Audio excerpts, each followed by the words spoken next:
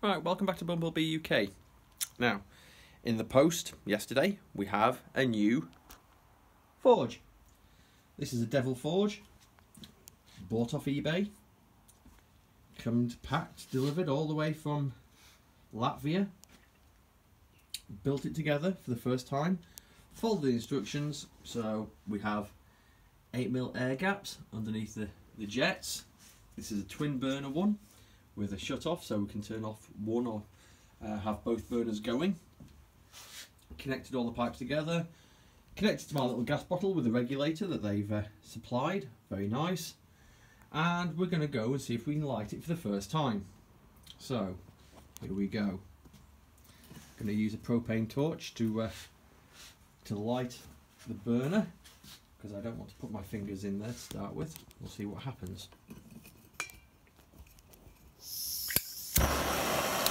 Right, my little burner going.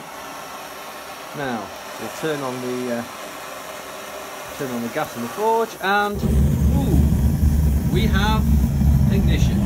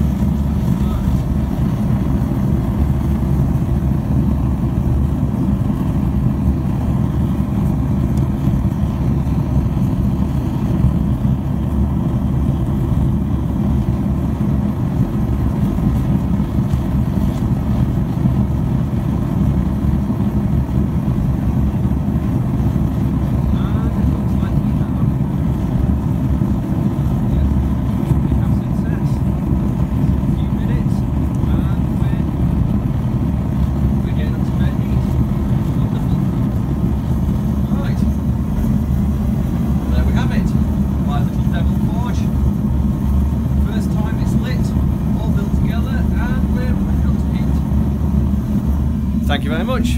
Don't forget to subscribe. Thank you.